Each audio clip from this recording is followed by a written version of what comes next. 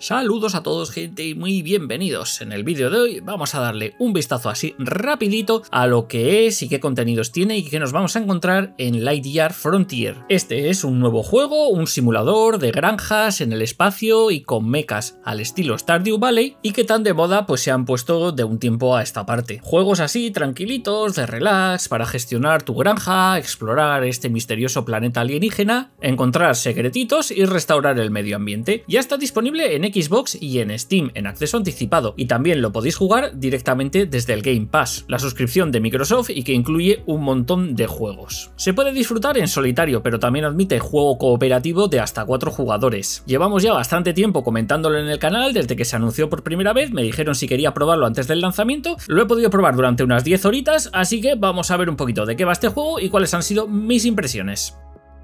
Y lo primero de todo, arrancamos el juego estrellándonos en un planeta alienígena. Y lo primero de todo, si queremos empezar a hacer algo y queremos sobrevivir, va a ser buscar y armar nuestro mecha. Esta será una herramienta inestimable de trabajo que cuenta con diferentes herramientas para talar, para minar, regar, cosechar y plantar. Vamos, lo que viene siendo el kit básico de herramientas de cualquier granjero espacial. Es una lástima que no podamos configurar nuestro personaje. También es verdad que en ningún momento lo vamos a, a ver, a no ser que sea en partidas multijugador, donde otros verán nuestro personaje. Pero al margen de ahí, en partidas single player, el personaje no se puede modificar. Para ir guiándonos en nuestro viaje, tenemos la compañía de PIP3R, que es como una especie de compañero, inteligencia artificial que nos va guiando en nuestro camino, nos dice un poco lo que tenemos que hacer y nos da sugerencias o ideas de qué sería lo próximo que podríamos intentar. Una vez tenemos nuestro mecha con las herramientas básicas, pues consiste en un poquito lo de siempre en estos juegos, recolectar recursos que nos irán desbloqueando diferentes recetas de construcción, talleres, hornos, prensas para ir refinando materiales, un montón de objetos de decoración para nuestra casa que nos dará diferentes niveles de comodidad,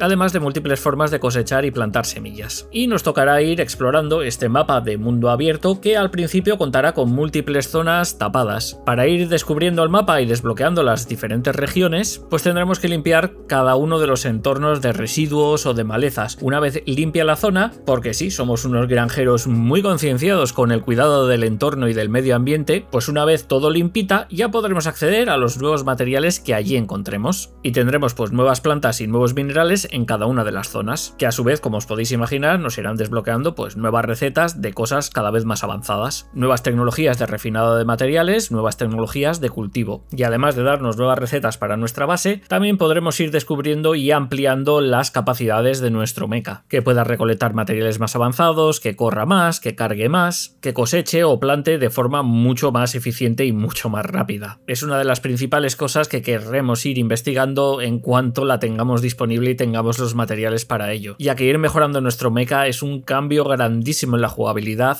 y en el disfrute de la partida. Y así, pues poco a poco, receta a receta, material a material y mejora a mejora, iremos desbloqueando las diferentes regiones y ampliando y automatizando mucho más nuestra granja. Además de eso, pues cada zona cuenta con su grupo de secretitos y algunos tesoros especiales que se encuentran ocultos por el mapa. Para acceder a estos, pues muchas veces requerirá que nos bajemos del mecha y nos ensuciemos un poquito las manos, entrando por cuevas o buscando caminos ocultos por diferentes zonas. Zonas que igual así de primeras pues no están muy visibles o requieren que hagamos algún pequeño puzzle de saltos. Sobre la exploración y eso, mientras estemos subido en el mecha podremos elegir si queremos jugar tanto en primera como en tercera persona. La verdad que las dos vistas son bastante disfrutables y el manejo del mecha en general pues es bastante bueno, mientras que si estamos en nuestra forma humana pues nos tendremos que conformar con la vista en primera persona. No parece que haya opción para cambiar, aunque como os digo, es verdad que únicamente vamos a querer bajarnos del mecha pues principalmente para buscar algunos objetos o entrar por sitios donde no podamos, ya que aparte de picar objetos y mover objetos de aquí y de allá, no podemos hacer mucho más en nuestra forma humana. Poco a poco, cuando pongamos en marcha nuestra granja y la cosecha empiece a ir sobre ruedas, podremos vender lo que nos sobre a mercaderes que irán llegando a nuestra base. Estos mercaderes también los podremos usar para comprar suministros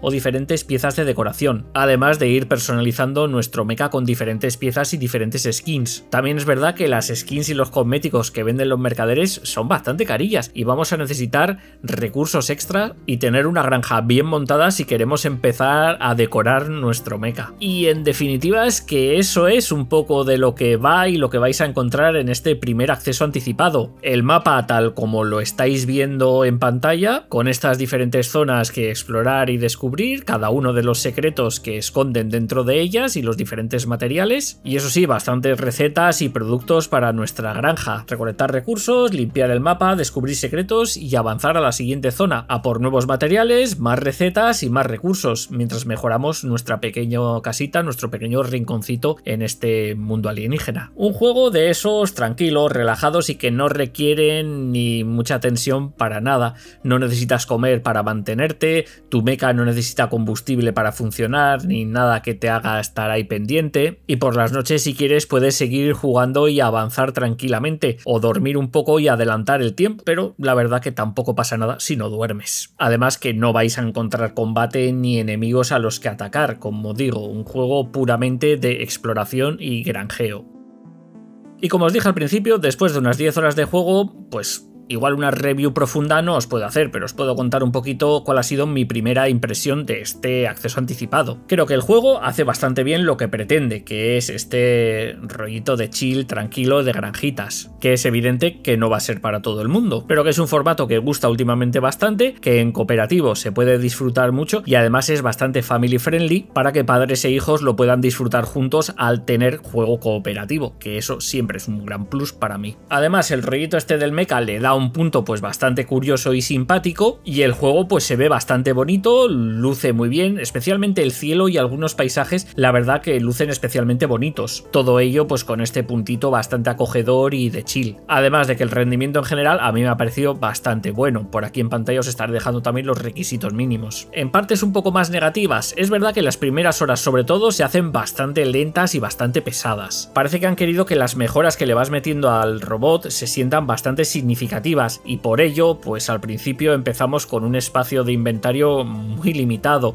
Los cofres dejan meter bien pocas cosas, la velocidad de movimiento es súper lenta y como digo, la experiencia hasta que vamos empezando a desbloquear todas esas mejoras en el mecha, pues se vuelve bastante lenta y bastante tediosa, tal vez. Otro punto que no me ha gustado demasiado es que la exploración libre está un tanto limitada. Hay demasiadas barreras que en este caso igual no son tan invisibles, pero sí que mediante el uso de rocas, árboles que no puedes cortar, precipicios y demás, pues te limitan bastante los caminos por los que puedes ir accediendo a las diferentes zonas. Además que si como yo eres muy de espíritu aventurero, el mecha vuelca con bastante facilidad y puedes terminar atascado más de una ocasión como me ha pasado. Lo bueno es que el juego tiene una función que te libera y te deja en un punto seguro del mapa en cualquier momento. Se echa de menos también no poder construirnos nuestra casa personalizada y tampoco podemos entrar al interior de nuestra casa para personalizar o decorarla de alguna forma. Puede que sean opciones que lleguen con el paso del acceso anticipado. Y además de eso se echan de menos también ciertas opciones Quality of Life que últimamente estamos acostumbrados a tener en juegos de survival o de construcción y granjas de este estilo, como pueden ser por ejemplo el poder craftear o utilizar directamente los objetos desde los propios cofres, sin tener que andar mirando cofre por cofre si tenemos los materiales requeridos para hacer cierta mejora que además al ser los cofres al principio tan pequeños la verdad es bastante tedioso.